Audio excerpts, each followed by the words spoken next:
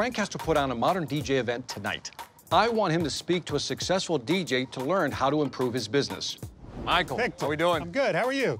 Mike Walter literally wrote the book on how to make big money as an event DJ. So Frank has taken a beating on this because the family hasn't been really supportive. Yeah.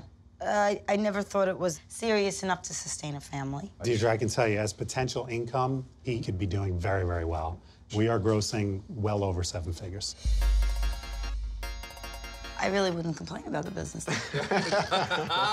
All of a sudden, those Saturday nights out wouldn't be too oh, bad. Oh, So it's, right. just, it's just a money thing. If you're losing your husband every Saturday night to an event and he's not making ends meet, I could see why that would aggravate you. But if you're losing your husband every Saturday night to a, a wedding or an event, and his ends are meeting, then I think you'd be a lot more tolerant of it. I'm opening up to the idea that Frank can support our family as a DJ.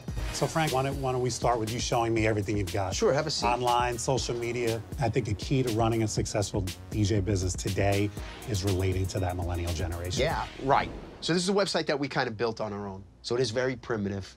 Primitive is a good word for it. It It works with shocks me that you don't have more images. Okay. I would get pictures of one of your DJs creating unbelievable moments and get that on your Facebook Okay. page, get that on your website. Let's talk about the review sites. Every time you have a satisfied client who says to you, Frank, you made my wedding, you made my event, you were great, just say, look, could I ask you a favor? Could you give me a review on these sites? yeah, I'm, I'm putting together a YouTube page. You have to. Yes. Yeah. I'm in the Because process of putting together You know a who YouTube owns page. YouTube, right? Go- uh, Google. Google, right. Yes. So every time you put a video on YouTube, you increase your search engine optimization. Right. You, you need to have a YouTube channel Right. devoted strictly to all with all these demos that you're putting together now. Right. It's the fact of opening up my mind, I guess, and my thoughts to what I need to do to make money for my family and to build my business back up to what it was.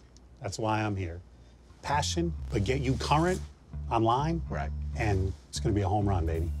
You know what? Hearing it from somebody out of the DJ business and entertainment field, I'm motivated for it. Thanks. Awesome. I appreciate your time.